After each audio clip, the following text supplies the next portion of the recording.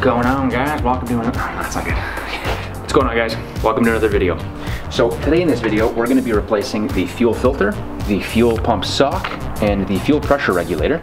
So we've ordered everything here. There's a uh, parts list in the description, which you can just scroll down to and see.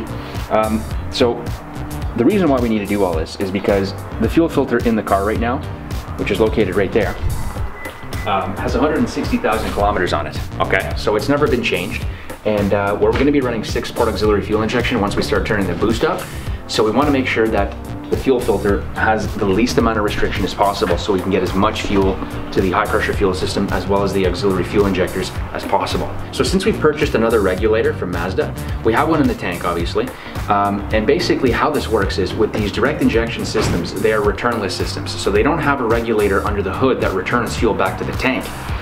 All the fuel pressure is generated inside the tank and regulated inside the tank by this regulator.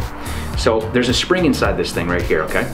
And usually you'll see about 60 PSI of fuel pressure on the low side fuel system because of the spring that regulates it to 60 PSI. Now, in order to increase fuel pressure, most guys running port injection uh, will run a regulator under the hood and then run a return line. In our case, to save a little bit of money, we're gonna give crushing this regulator a try. We're gonna crush it in a vise to put more preload on the spring inside here and try to attain 70 or more PSI fuel pressure. Right now, we're getting 60 PSI fuel pressure when, when we turn the ignition on, um, but we wanna have 70 or higher. We don't wanna go too high either though, because we don't wanna burst any lines and stuff like that, but um, the reason why we wanna increase the fuel pressure is because with any sort of port injection system, whether it be six port, four port injection, the fuel injectors are exposed to boost pressure, okay? And what happens is when those injectors open up, the boost pressure is gonna try to push the fuel back into the injector because there's a pressure differential, right? So if you've got right now, like we have 60 PSI fuel pressure going to our six port injectors, what happens is if I'm running, let's say 35 PSI boost, 60 PSI fuel pressure subtract 35 PSI boost only equals 20 PSI fuel pressure. So when you have low fuel pressure, you're gonna have less fuel being delivered, and you're also gonna have atomization issues. Because if the fuel pressure is too low, the fuel is not gonna atomize as effectively and mix into the surrounding air as effectively as if you were to have, let's say 40 plus PSI fuel pressure. So in my case right now, in the short term, I don't really plan on running more than 30 pounds of boost right now. Um, because first of all, I got a three bar Bosch map sensor, which is only good for about 29 to 30 pounds of boost based on what I read. But if I want to go higher, I might have to upgrade to a 3.5 bar or a four bar map sensor. Um, but it depends because I think I can have a lot of fun with 30 pounds of boost to be honest. But right now with 60 PSI fuel pressure regulated from the tank because of this, uh, 60 PSI fuel pressure subtract 30 PSI boost, I only have 30 PSI fuel pressure, right? So I wanna have good atomization because of the fact that it's six port um, it's injecting before the throttle body and it relies on the intake manifold to disperse all that fuel to each cylinder. Now, if there's really poor atomization, it's not gonna disperse as effectively. So the better the atomization, by running higher fuel pressure, the more evenly that fuel is gonna get dispersed into each cylinder and the better and more effective our burn is going to be. So let's get started by uh, taking the rear uh, uh, seat out and uh, we'll, we'll show you guys what to do. So anytime we're working on a fuel system or an electrical system, we should disconnect the battery because we don't want to cause any fires and stuff like that. And it's always safe that we when you don't have sparks and stuff, you know? So we're gonna disconnect the battery and then we're gonna start working on the fuel system. We're going to be giving you guys a full in-depth review of the complete setup on the car because um, there's a lot of details and a lot of information that we can share. So uh, we're gonna give you guys a full rundown on the setup and uh, that'll be in a future video though. You take the CorkSport battery box cover off. Um, I'm one of the people who thinks gas smells amazing, but it's not good for you. So to prevent getting high on gas fumes, we've opened all the doors. Here's our split second controller. Again, we'll go into detail in another video about the entire setup. But anyways. But it, uh, it splits seconds and then it controls them. So that's, that's all it does. Time is of the essence. Battery's disconnected. All right, we're safe. There we go, yeah. Now the other thing you want to do is uh, ensure that your flux capacitor is also disconnected and that's in the back of, oh wait, this isn't a DeLorean. Okay, so back seat. All right, we're gonna take this guy out. To remove these seats, very simple. It's just a clip on this side and a, and a tab on this side, tabs on each side. And all you do is you pull up. You get a grab of it and just pull straight up. Just like that. It's a dirty seat, man. Go to the other side. You Keep tools in here, don't you? Just pull up, right? Slide the belts out, or the buckles rather, and just move this to a safe location. All right, now when you take your seat out, uh, you're gonna see that, but it's gonna be less mangled. And the reason that's mangled is because we mangled it. You can check our six-port auxiliary fuel injection video, and you'll see that we cut this all up. Uh, this access hole here, in my opinion, is for diagnostic purposes only. It's for a technician or a mechanic to be able to check for power and ground at the connector, but to actually replace the fuel pump, Mazda most likely intends that you lower the gas tank. In our case, working out of a homestead garage, we didn't really feel like lowering the gas tank, although a lot of people have told me that it's actually quite easy to lower the gas tank on these things. Um, but you know, this was a while ago for us, so we're still gonna go through and do it this Plus, way. we're working on the floor here. We don't have a hoist, so it's a bit more difficult to drop a tank with jack stands. Yeah. But we have a fire extinguisher there. Yeah, so four Phillips screws here. Gonna go ahead and remove that, take this cover off. If this actually works, dude, if it, if, if it actually like raises fuel pressure, I won't have to waste money. Don't people do this though already? Doesn't it work? There's not a lot of info on it though. Yeah. That's the thing, not a lot of people talk about crushing the in-tank regulator. So we're just gonna be guinea pigs here. Most most tuners and most guys doing this stuff, they're running port injection and they're running a regulator off the fuel rail, and then they're running a return line back to the tank. Um, I don't know of any, but on the old forum, MazdaSpeedForums.org, there was a guy, can't remember who it was, who actually made a thread on doing this, right? And he was able to achieve 80 psi by crushing the in-tank regulator. We're gonna give it a try. Unfortunately, that forum is no longer available with us. So what we're gonna do is uh, we're gonna disconnect the connector here, okay? I'm gonna take these tabs out with a trim tool, these little things. Now, if you didn't already cut that that metal in that area, Ugh. uh, so this metal we already cut it, so we're just gonna bend it back upward. Yeah, gently. we wanna then just make sure not to give yourself tetanus. so the tabs are out. just lift them up with this. And uh, we're gonna get some pliers, just bend these back. It's very thin metal actually. We're gonna bend this back. And basically our plan is to hopefully not have to run a return. So essentially guys, if you guys have seen our, um, the video where my engine blew up on the dyno last year in August of 2016, sorry, August 2019, August 16th, 2019. I remember the exact day. Um, that was a pivotal moment in my life. But um, in that video, uh, I was actually running six port with 60 PSI coming from the tank. And uh, peak was about 24 to 25 pounds of boost. So if you calculate 60 PSI of fuel pressure, subtract 25, you still have 35 PSI of, of fuel pressure, right? Which wasn't really an issue, but um, like it'll make power if you keep the regulator at 60 psi. It'll it'll make power, but if you want to make it efficiently and you want to and you want to do it right, get that fuel pressure a little higher. Which is why guys run regulators and returns and stuff. But I'm gonna try this. Okay, let's give it a shot. So let me get some pliers and we'll bend this back. Time to do a little experiment with my tweezers. Nice and easy. Ooh, Crunchy. just gotta get it open just enough. Don't wanna, oh yeah, look at that. There's a little more here. Okay, make some room here. Yeah. Yeah. Be gentle. Yeah, this is obviously a butcher way to do it, but you know what? It saves time. Literally. Not having to drop the tank is, yeah, it doesn't take super long to drop the tank, but it's this this like look at that. How long did that take me? You know what I mean? Plus, it's covered up anyways. Just make sure you don't completely butcher it so that you can fold it back at least somewhat nicely. Yeah, And it's and, covered by uh, the we also take no responsibility for uh, any Yeah. mistakes because, you know, That's what the disclaimer's for at the beginning of the video. we're just showing you what we're doing. Yeah. We're not telling you to do it. Yeah, just you know, do whatever you want, right? Just make sure you uh, hit the subscribe button and notification bell, and uh, check us out on uh, Instagram. Um, what are we doing now? Okay, so we got to disconnect this line, this this fuel line. There's going to be a little bit of residual pressure, especially if the car's been running recently. So get some uh, rags and stuff handy, and get some uh, safety glasses. And uh, let me go do that. Pass me the extinguisher because it's going to be useless if there's fire inside and we can't get to it. That's an old one. That's an old extinguisher. We gotta buy a new one. Get a little bit of rag in here, a little bit of pressure on this, this, this white tab. It helps if you push the line in a little bit, then push the thing down. Gotta be careful not to cut myself either. Oh, a little bit of fuel came out. Yep, we're good. No big deal. Okay, just soak it up with the rag. There's obviously an O-ring in there. Make sure you don't damage the O-ring when you're installing it and stuff. Right around here is a little clip and there's like a, almost like a ring gear going around this. And what happens is as you tighten this, it ratchets and locks to not loosen itself while driving.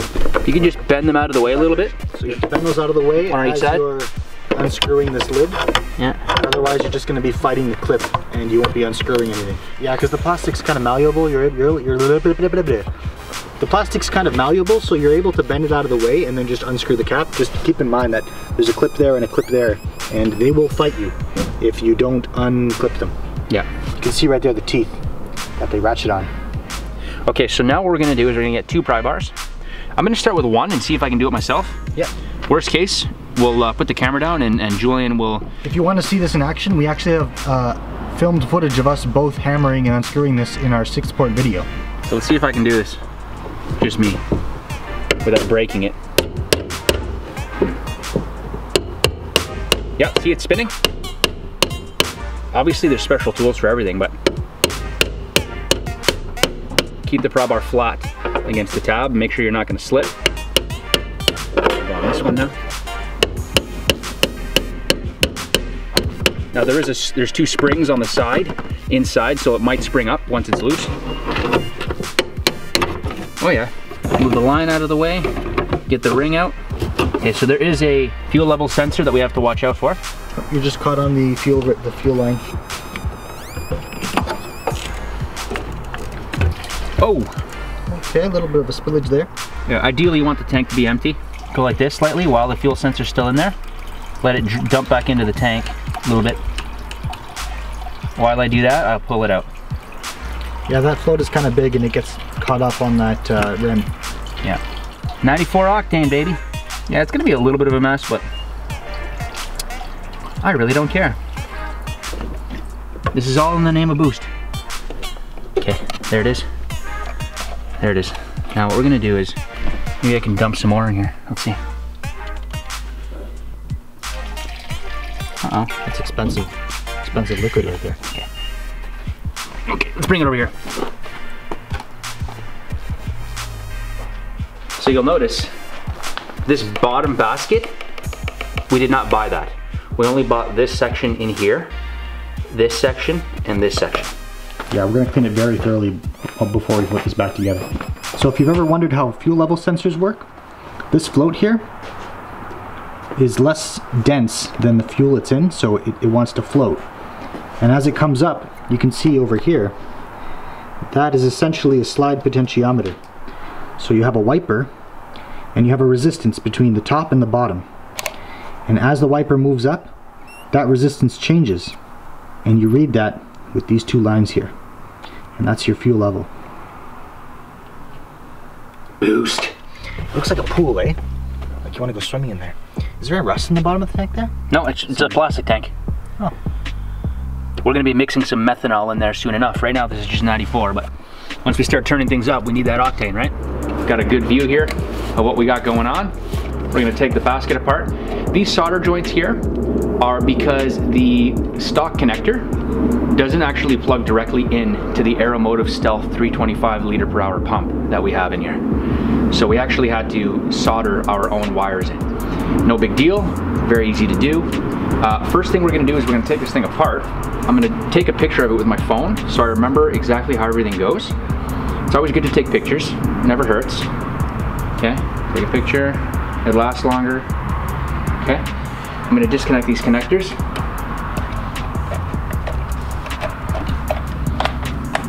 Okay, it's very simple. This is a very simple setup. On the bottom side, there's a little C-clip. So, oh shit. Okay, got a lot of fuel that just dumped out. No big deal. Let me just On the grass.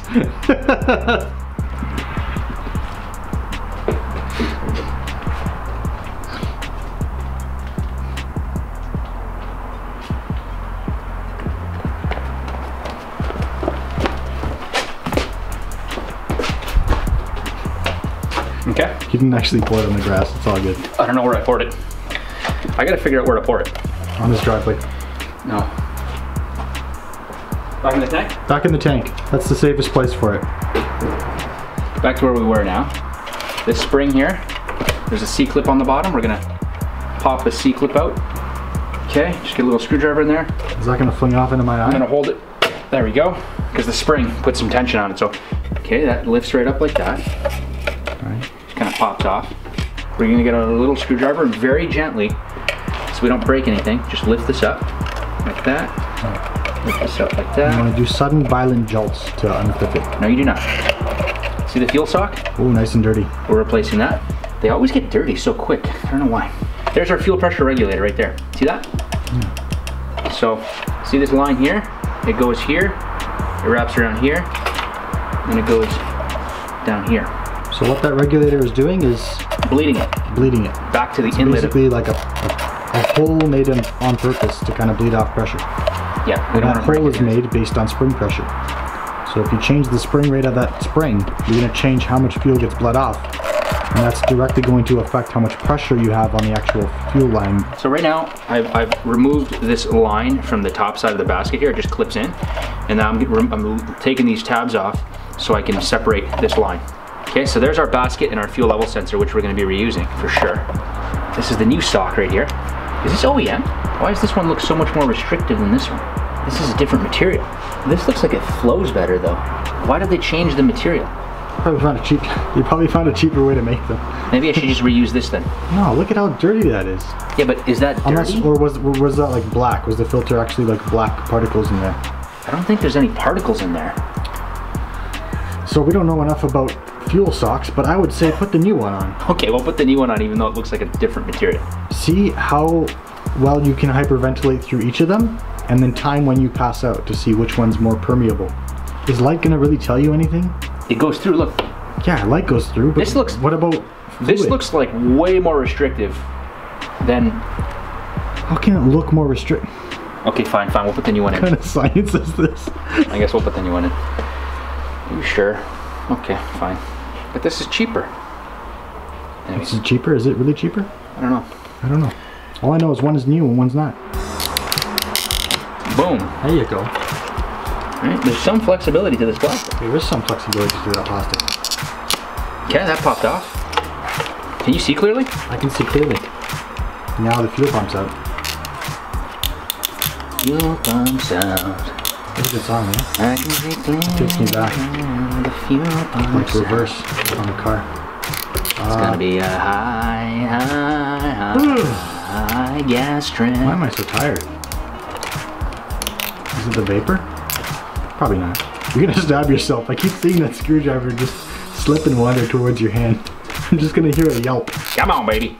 Get off. Alright, so now that we've cleaned off all the red, we can continue on with what we're doing. Ooh, Oh, that was a close one. I don't feel like it's gonna hurt. That's gonna hurt a lot. I just want you to come off. There. You got it. Okay. So One more on the this side. regulator. And now, are you gonna crush the new regulator or See, that's the experiment with the old one? I'm gonna experiment with the old one. And then if you screw it up, you can put the new one in. Exactly. Awesome, that's a great idea. Now, do you know how much to crush it? I have no idea. Okay, that's another problem. This is very easy, guys. You just have to get in there and try it. Something like that. Make sure you remember how everything goes. Yeah, it goes like that. No big deal. Okay. Now the pump can come out. I don't think he realizes that we're filming this, so if he does forget, we can just go back to the footage, but I don't think he's making that connection yet. See this pump? Now that we have everything at the bottom, you just push the pump through. Right? Like that. Oh, more fuel come out. Hmm. I gotta tell you though, man, you're you're really you're really diving deep into this. Look at that. Look at that. Ooh. More gas. Man, this gets messy. Yeah, you know what? Actually, like, it smells a lot like gas. Maybe we should light some scented candles and put them around here just to kind of like get a different scent going on. Just light some scented candles right beside here. It's a good idea. Right? Then we can like smell like don't do cherry blossom and We're going to start a fire, Joanne. while we're uh, So look, fuel pump comes out. There's this little spacer here, and then there's an O-ring. Okay. We could probably reuse that. It's not a big deal. See the hole on the right side there? Yeah. That mates up with this O-ring. That you gotta makes make sure, sense. gotta make sure it goes in the same way, right? Perfect. We pull this regulator off now. Just get a little screwdriver in there, lightly go around, pry it out. We're gonna try experimenting with this regulator because we know that this regulator generates about 60 PSI. And we wanted to get it to 70 or higher. So we're gonna, we're gonna play with it. So it's like this, right? That's Yep. how it came out. All right, that's the old one. Right. And that's the new one, just Now, in how, case. how do people crush these things? That is a good question. Since that thread is no longer on the Mazdaspeed forums, we're gonna have to play. So we're gonna have to look at it. We're gonna, we know how it goes together, so we're gonna take it apart, strip it down, get all these little things off. I'm gonna have to take this seal off. This little low ring right here at the bottom, because I don't want to damage it. Just take it off, like that. There's a ring here, a little tiny little half ring. Take that off. I'm gonna take this off. This is the regulator in its bare form, right? And there's a little spring in there which regulates to 60. So I think this is how it works, man. Fuel comes in through here, okay? Yeah. The fuel is then forced through these holes, right?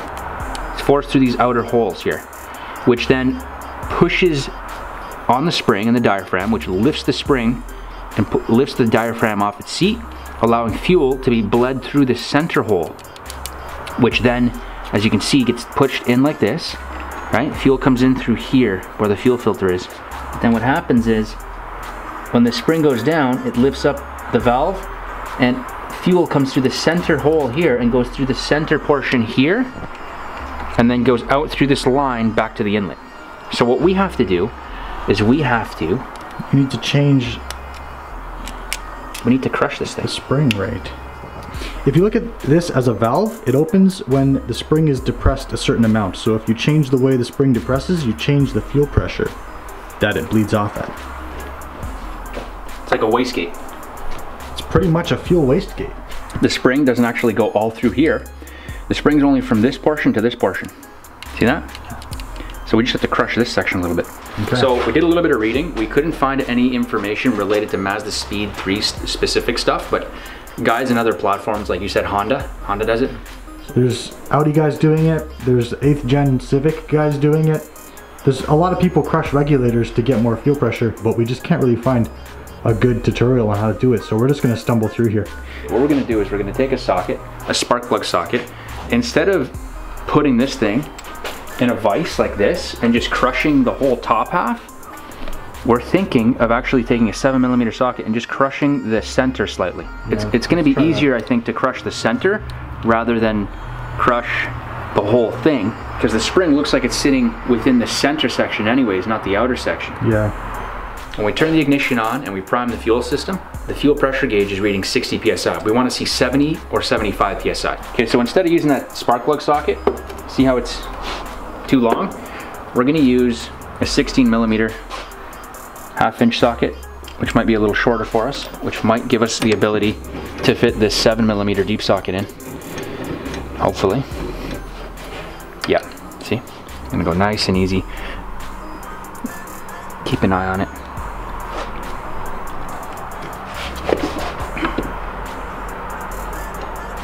Going in We went in a bit. a little bit. How far do you go though? I think I think we have to test now, don't we? You can't uncompress it, so maybe test it now. We noticed that uh, this seven millimeter fits right in here, but it kind of went crooked a little bit. So I feel like we're gonna spin it around this way and go at the big end and get it more centered, I guess. Let's give it a shot. Hopefully this works. Just to give it a little bit more. Hang on, let me make sure this is 100% straight. You wanna make sure it's straight. Okay, just gonna go a little bit centered out. See? It's going in. Ooh, okay. That's a lot of crush. Okay, we'll see what kind of pressure we get. Come on, 100 psi. All right, guys, so we got it uh, just assembled back together. We're just gonna go ahead and dip it into the tank, hook the line up, hook the connector up, reconnect the battery, turn the ignition on, and see what kind of fuel pressure our fuel gauge reads. Nice and easy. Just dip it right in there. We don't have to put the lid on because we might have to take it back out.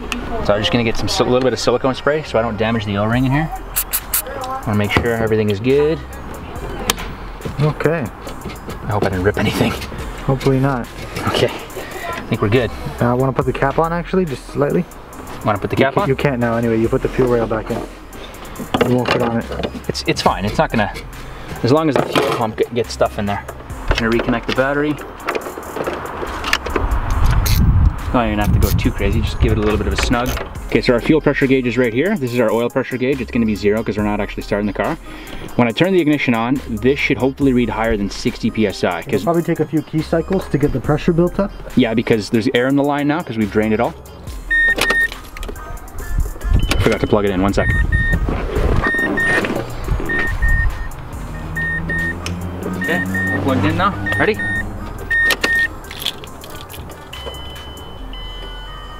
Thirty-three. Let's try it again.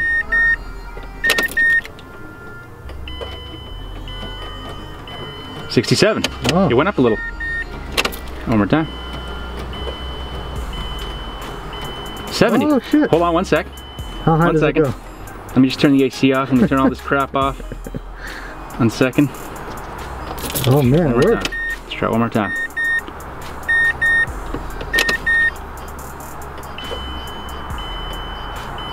Seventy. That's kind of right where I want to be too. You know, that's kind of right where I want to be because 30 pounds of boost, uh, 60, sub- uh, sorry, 70 subtract 30 pounds is 40 psi. It's perfect. It's not going higher, right? Seems like it's right where it needs to be. Let me try one more key cycle. I think that's it. Now we just have to transfer everything over to the new bucket you bought.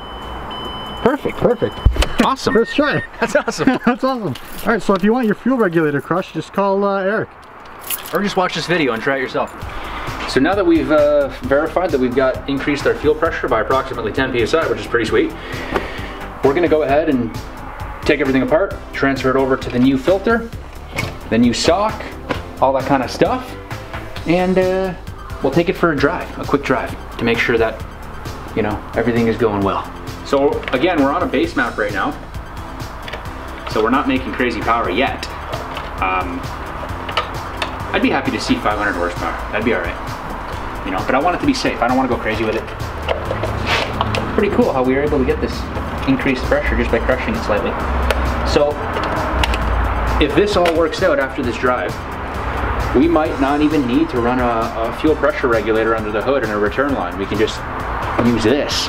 And through software, through the split, second controller, we can control the onset of the six port fuel injection system as the MAF voltage increases.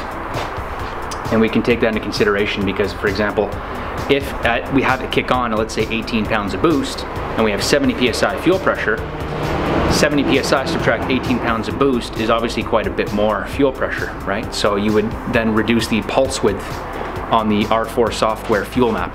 That little fist-sized thing is the only thing that's supplying your engine with fuel. That's it. That doesn't Yeah. work. Nothing works. Exactly. Nothing. Nothing. They're pretty small, the fuel pumps, eh? Nothing. And make sure that that O-ring is still in place. Make sure you don't pinch the O-ring and rip it. So I'm going like this, and I'm just massaging it in.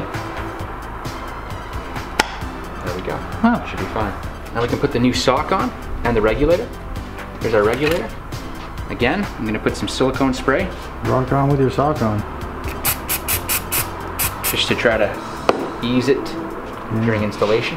Get that silicone spray all up in your high pressure fuel pump into your injector so it can clog. No, it's silicone spray, it'll dilute. Yeah, I know. See that? Right, C-clip time? There we go. You like it when that happens? You like when you get hit with the dead cat? Dead cats feel good. All right, let's plug it in. Plug it all in. Plug it in, plug it in. It's like light brake, but it's flammable. Always be careful when you're working with these so you don't so you don't damage the fuel level sensor. Just plug it in here now. This is the actual power for the pump, which we have to make sure we do not mess up. Look at that. We're ready to turn the boost up, guys, and run some auxiliary fuel. Right now we're on the stock fuel system because we're still on a base map, uh, but we'll still we'll take it for a spin and you know make sure everything is good. I've been driving it here and there. I haven't been driving it much because I have a daily driver. Okay, So what we're gonna do is put the pump assembly back in, and then we're gonna quickly test for fuel pressure before we fully screw the lid down. Yep. So just hold on to that for a second. Let me make sure the seal here and the mating surface is clean. Seal's going on. Flip it. See if I can flip it. Level sensor goes in first. And then before you plug the line in, we put this ring on.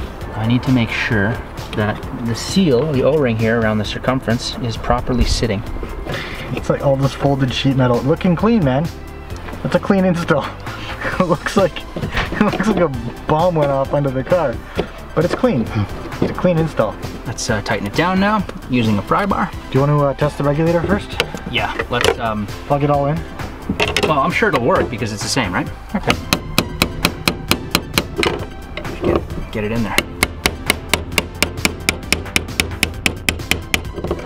We're gonna leave this bent open. For the first drive, it's going to be open. We're not going to close it. because we wanna check to make sure that there's no leaks coming out of the rim. Leaks. Yeah, we don't want to hide any leaks. We want to make sure that we, we got it covered. Make sure this is tightened down.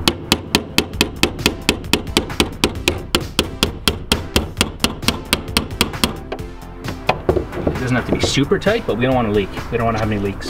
Here we go.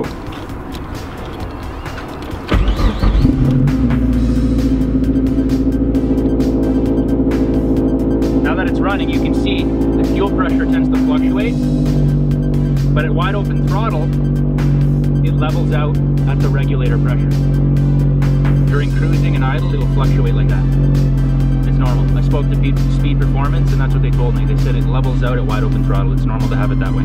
Was it fluctuating up to 98 like it was before? Or? Yeah, well before it was fluctuating around 90, so it's definitely hitting a little bit more because of the regulator's a little higher right now. It's hitting a little bit more pressure. But let's take it for a spin and make sure we're good. Now, now that I have it running and we're hitting more pressure, I'm just gonna check underneath the hood again one more time just to make sure we have no leaks before we drive it. Ready?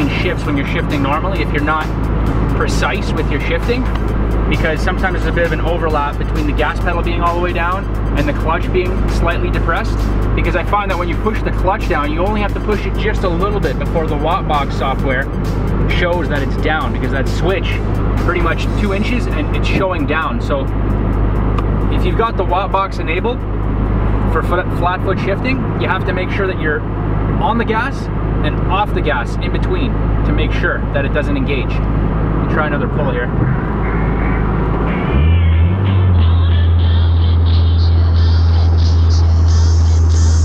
Try a little bit of third gear.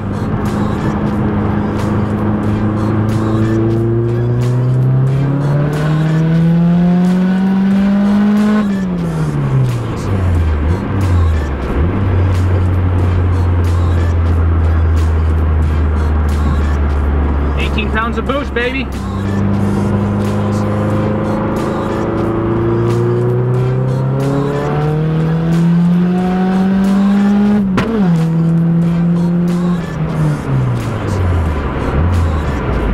So when flat foot shifting going into fourth, I noticed that uh, the Guardian Angel kicks in because when the WOT box cuts the ignition system, the oxygen isn't used up, right? Because the oxygen reacts with the fuel and burns. But since the O2 sensor for the um, AEM failsafe is picking up a lean mixture because the oxygen isn't used up, it triggers the uh, Guardian Angel to dump the boost. So as soon as I get into fourth, we're only hitting like 10 pounds of boost. So what I have to do is I have to put a delay on the um, AEM failsafe trigger, and that should resolve the issue. As you can see, the fuel pressure has now been raised, and uh, it's gonna be a good time once we start running more boosts. So stay tuned for more vids, guys. Hope you liked it.